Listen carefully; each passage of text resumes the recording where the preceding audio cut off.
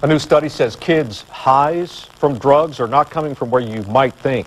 There's an increasing amount of North Carolina teenagers turning to and abusing prescription drugs. News 13's Julie Wonder has the story. It's a startling statistic. According to the Partnership for a Drug-Free North Carolina, one in 10 teens is abusing prescription painkillers. And if we don't deal with it and address it soon and hard, that we're going to have more and more kids dying, uh, more and more adults dying from accidental overdose. Swain Recovery Center Director Tom Britton sees the growth in prescription drug abuse firsthand. They can go in their parents' cabinets and take five or six pills without being noticed. And then they go to their friends and everybody has five or six pills and they're having parties with them.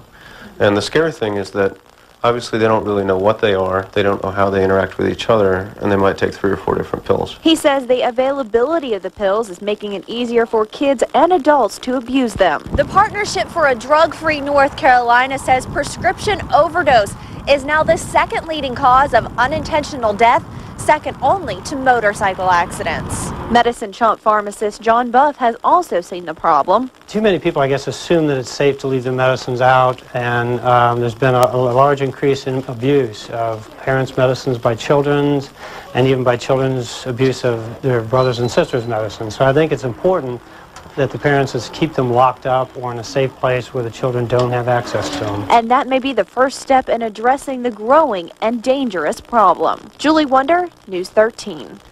A group of advocates is formed.